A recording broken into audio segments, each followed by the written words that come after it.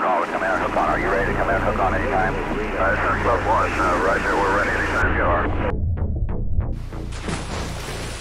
Imagine you're in a small, bell-shaped capsule a little larger than a refrigerator. Now imagine that capsule's bobbing like a cork in the Atlantic Ocean, with waves blotting out the sun through the small window above your head. You might feel claustrophobic, maybe even overheated as you power down the capsule and the cooling system running through your silver pressure suit. You know that it won't be long until you're able to taste fresh air again as the recovery choppers close in. And you would feel the sensation of fresh air on your face, but only after a sharp thud awakens you from your trance. Light pours into your glorified can, and with it the onrush of salt water. This is exactly what an American astronaut experienced on July 21st, 1961. Now, there are many names well known through history books and schools alike, and I'm sure you've heard them too. Neil Armstrong, John Glenn, Buzz Aldrin. But many don't know about the second American who ventured into space, Air Force Captain Gus Grissom. Only the third human to ever cross into space behind Yuri Gagarin and Alan Shepard, Grissom's suborbital hop was a nearly flawless flight until moments before his capsule was recovered by helicopter. My channel normally deals in flight, but strap yourselves in, gang, because we're punching through the sky, into space, and back again as we follow Gus Grissom's fateful flight in Liberty Bell 7.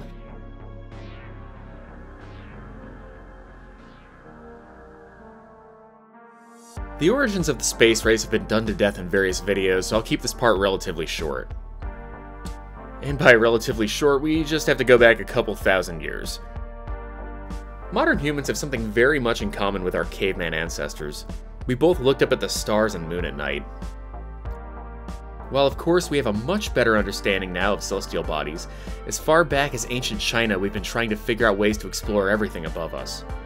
In 2000 BC, or so the legend goes, a Mandarin official named Wan Hu attempted to climb to the stars on a chair packed with black powder fired rockets. Honestly, this doesn't really make all that much sense given gunpowder was invented almost 3,000 years later, but I digress. The point is, if he was real, he probably didn't make it into space, but points for trying. Modern space travel concepts really got rolling in the 19th century.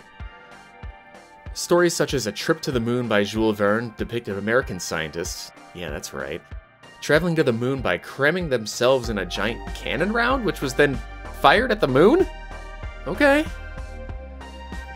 Okay, so fast forward a bit. Um, Robert Goddard, an American scientist, improved rocket designs, uh, and Germany went on a vacation from 1939 to 1945 when they developed the V 2 ballistic missile. I mean, the peaceful A 4 rocket designed for scientific exploration. After said vacation, many of the German scientists decided they wanted to move to the US instead of the Soviet Union because White Sands missile range is better for tanning than the gulags of Siberia. Werner von Braun, notable nice guy who had no ties to the Allgemeine SS or any form of forced labor in pursuit of his rocket development, helped Redstone Armory develop the PGM-11 Redstone, an intermediate-range ballistic missile designed to rain nukes on our red-aligned neighbors across the pond. In fact, if you go back through the development of the Redstone, it was an almost direct descendant of the V-2. On the other side of the world, the Soviet Union wanted to further their own rocket development, and with their own captured German scientists under supervision of Sergei Korolev, came up with the R-7 missile. Both the East and West had military ambitions for the missiles, but not just to deliver nuclear payloads. The concept of satellites had been floating around for several years to improve communication, spy on the other side, and act as orbital platforms to drop nukes. Like rocks from a highway overpass. Hell, in World War II, von Braun even had the idea of putting men into space and setting them up in a giant rotating space station for military and scientific purposes. The thing looked like a giant wagon wheel and would have spun at a rate enough to generate artificial gravity. You could tell he was passionate about this idea into the 1950s too. I mean, just look at this old Disney show about spaceflight. Even though there's no apparent motion, everything in the orbit is hurtling around the Earth at 16,000 miles per hour. The shell of the station is completed. Oh man, Disney used to be so cool. Anyway, on October 4th, 1957, the Soviets, admittedly, beat us to space with their first satellite, Sputnik 1. This beach ball sized satellite didn't really do anything so much as prove that they could put an object in orbit, as Sputnik only operated as a radio transmitter, pumping out a consistent and incessant communist beeping.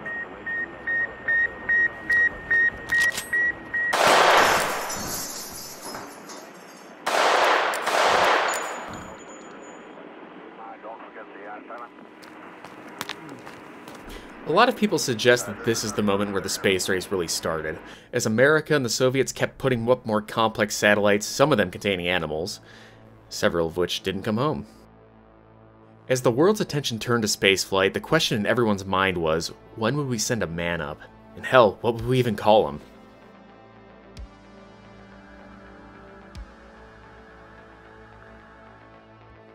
Established in 1958, the fledgling National Air and Space Administration, better known as NASA, began Project Mercury, a program aimed at putting an American in orbit.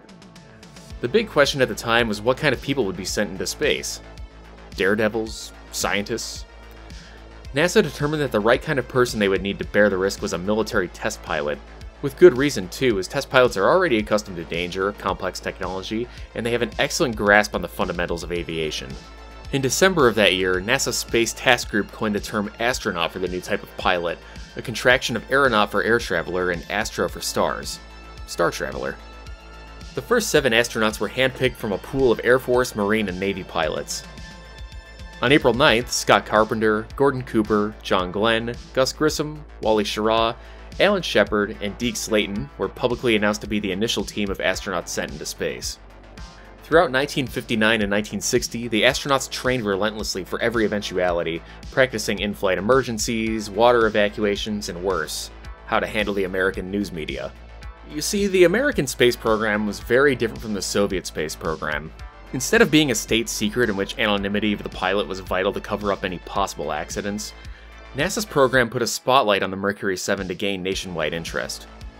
Interest builds capital, after all. By the way, join my Discord.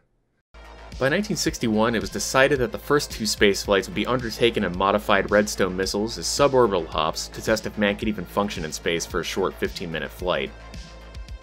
Hell, if Ham the chimpanzee could do it as he did on January 31st, 1961, why couldn't a test pilot?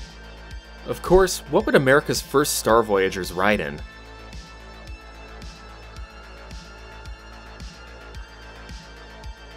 Okay, so first off, I want to make something very clear. That is a spacecraft, sir. We do not refer to it as a capsule.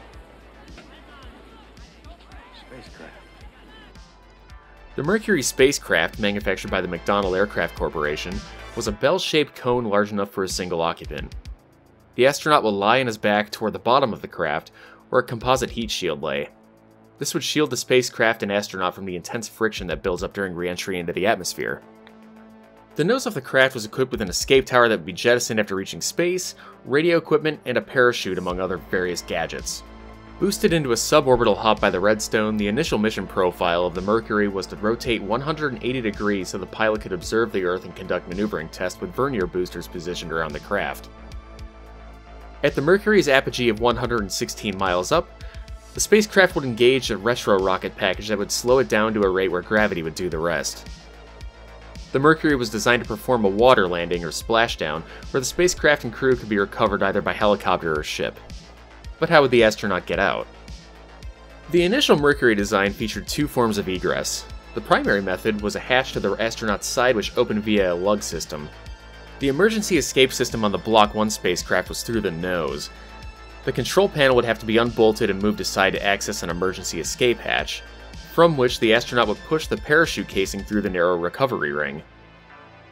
The astronauts, with Grissom at the helm, pushed for an explosive bolt system to be installed in the primary hatch. In an emergency, the astronaut would remove a safety wire and hit a plunger that would detonate a series of 70 explosive bolts and jettison the hatch in less than a second. He would then escape the craft with ease. Of course, this is under the taut cable of a helicopter, but we'll get to that. The first manned flight of Mercury Redstone was planned for early 1961, but a booster test on March 28th pushed the flight back to April 25th. Regardless, Alan Shepard was to take the reins.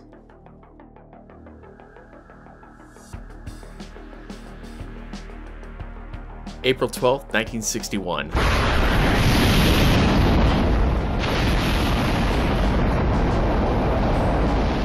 Vostok 1 with cosmonaut Yuri Gagarin lifted off from Baikonur Cosmodrome. The Soviets elected to cover up the first manned spaceflight while it took place, unless they get egg on their faces if it failed. Gagarin performed several orbits of the Earth, and after nearly dying in a reentry malfunction where the service module of the Vostok capsule didn't properly separate from the crew capsule, he somehow landed safely in Soviet territory and was made a hero. Okay, Yuri had some nuts doing this. I'm not trying to take anything away from him. The point is, the Soviets beat the US, as much as I hate to admit it. Needless to say, the Mercury 7 was raging to go, and on the 25th of April, Mercury Redstone 3, dubbed Freedom 7, was set to launch. The second manned flight into space went off without a hitch. Shepard's suborbital hop, while a far cry from the Soviets' orbital flight, was successful, paving the way for the upgraded Mercury to make a flight of its own in preparation for the more complex NASA missions.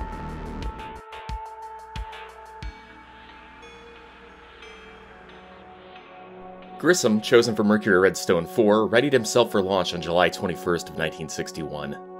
His mission was simple, launch from Cape Canaveral, achieve an apogee of over 100 miles, and return to Earth while ensuring the revised Mercury capsule would be suitable for the orbital flights the rest of the 7 would undertake. Mercury capsule number 11, fresh off McDonnell's production line in St. Louis, Missouri, was placed atop the mighty Redstone rocket and transported to Launch Complex 5. Grissom adorned Capsule 11 with a white crack paint scheme and the name Liberty Bell 7 to echo the motif of American values that Freedom 7 had. The thing did look like a bell after all. At 1220 UTC, Liberty Bell 7 with Grissom at the controls shot into the sky. Ignition, lift off, lift left, control, and line of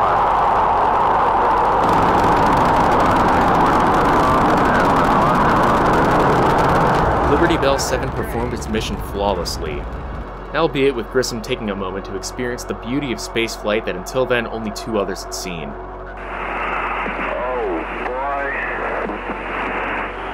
Roger, you're on the window. Are you trying a yaw maneuver? I'm trying a yaw maneuver, and I'm on the window. It's such a fascinating view out the window, you just can't help but look out that way. Um, the jet, retros has jettisoned. Now I can see the cape. As Liberty Bell fell from her apogee, Grissom experienced over 10 Gs of force, 10 times the force of gravity.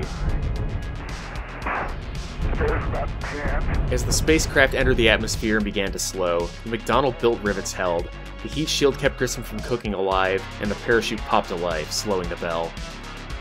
Main chute is good. Main chute is good. Rate of descent coming down.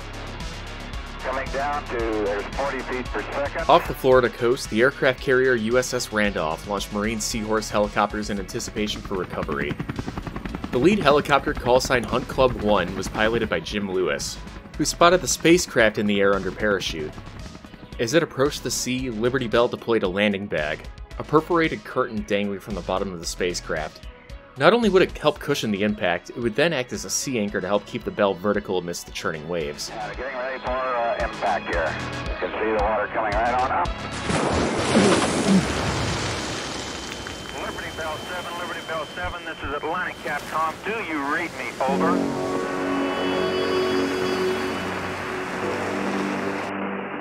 Splashdown went without a hitch, and Liberty Bell's whip antenna deployed successfully, improving communications with the recovery team. The recovery process for Mercury spacecraft was a bit more complex than simply clamping on a cable. First, the whip antenna had to be severed by the helicopter's crew chief, who would then run a pole out to a recovery loop on the spacecraft's upper ring. At the tip of the pole was a carabiner that would snap onto the recovery loop and allow the Seahorse to lift the craft several feet out of the water. When safely above the waves, the hatch would be opened, a good opportunity to test the explosive bolts. As Hunt Club 1 slowed to a hover to cut the whip antenna, something went horribly wrong. The hatch blew off to skip along the waves like a stone. Unsecured, Liberty Bell 7 immediately began to take on water. At this point, Grissom had unplugged himself from the capsule and rolled out into the sea. The US Navy designed Mark IV pressure suit was designed to be watertight to allow the astronaut to float. However, in his haste, Grissom had left a connection valve open. This let water begin to flood his silver suit, which acted as an anchor in his body. As Grissom struggled with the sea, Hunt Club 1 was able to latch onto the foundering Liberty Bell. Unfortunately, the Seahorse wasn't equipped to handle the weight of a 4,000 pound sea anchor weighing it down, and it too was almost lost as the recovery cable snapped taut, pulling the Marine helicopter into the water. Lewis fought hard, lifting the waterlogged spacecraft out of the water, but every time it seemed as though the battle was over, a wave would swamp the open hatch and drag it back down. The overloaded engine of the Seahorse choked as metal shavings entered the oil system. Lewis feared not just losing Hunt Club 1, but the thought of the helicopter crashing down onto the struggling astronaut. Meanwhile, a second Hunt Club helicopter dropped a horse collar to Grissom, who was pulled to safety. Hunt Club 1, with its engine screaming, prompted Lewis to order the recovery cable severed. Liberty Bell 7 was cut from the Seahorse.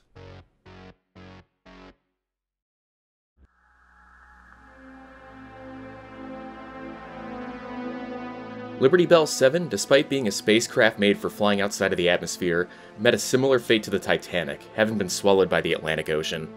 It was suggested that Grissom, having survived the ordeal, punched out too early before Hunt Club was able to connect. Gus and his astronaut brethren scoffed at such suggestions. Fellow pilot Wally Schirra tested the explosive hatch after his mission on Sigma 7, which produced a deep bruise on his wrist from the explosive plunger's recoil. Gus had no such markings on his body. So if Grissom didn't engage the hatch, then what caused the accident? Many theories abound. One of the 70 explosive bolts on the hatch was found to be faulty, but it was left in place. However, it's very unlikely that this was at fault. A more likely scenario is that static electricity arced from the helicopter as they attempted to lash onto Liberty Bell. This would have triggered the explosives in the hatch and fired it.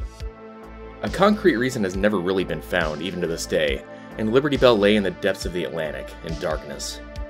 38 years later, in 1999, an expedition led by Curt Newport discovered the resting place of Liberty Bell. Deeper than the Titanic, the Mercury craft lay right side up, no doubt a result of the anchor-like landing bag. Despite the loss of a remote-operated vehicle in rough seas, on July 20th, 1999, exactly 30 years to the day that Apollo 11 landed on the moon, Liberty Bell 7 was pulled from the sea.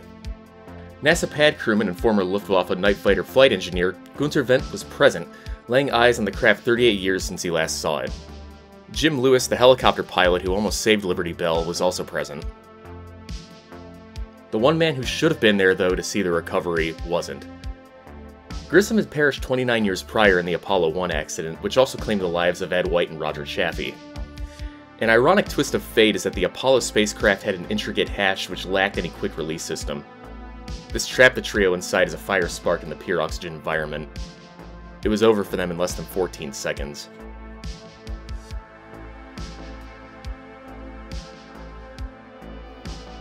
Liberty Bell 7, having undergone an extensive restoration procedure, now lies in the Cosmosphere in Hutchinson, Kansas for all to see.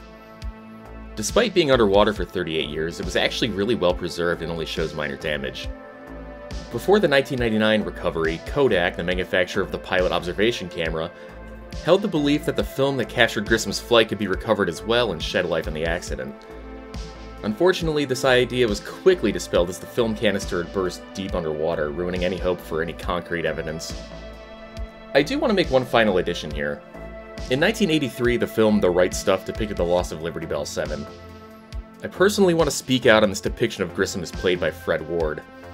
In the scene, Gus is depicted as having a near panic attack and losing his cool. This heavily contrasts the calm and collected Grissom in real life, who was a true professional on and off the radio. Many today believe that if his life wasn't claimed in the Apollo 1 accident, Grissom would have been among the first on the moon. And despite having never gone to the moon himself, Gus is up there. On the moon's far side, a crater was named for the man who devoted his life to the stars, Grissom Crater. Thank you all for watching this video on a topic near and dear to me. It seems almost yesterday that I watched the Discovery Channel Search for Liberty Bell 7 documentary that detailed the recovery efforts that would bring Grissom's lost craft to the surface. I urge you all to watch this doc in full. I also want to thank Hellion for the art assets in this video. As always, they really did turn out great. And finally, for the first time, a very special thanks to my patrons, whose support helps bankroll videos like this. It really does mean a lot and helps keep me motivated to keep pumping these out. For you at home, keep that sun on your back, guys. Have a good one.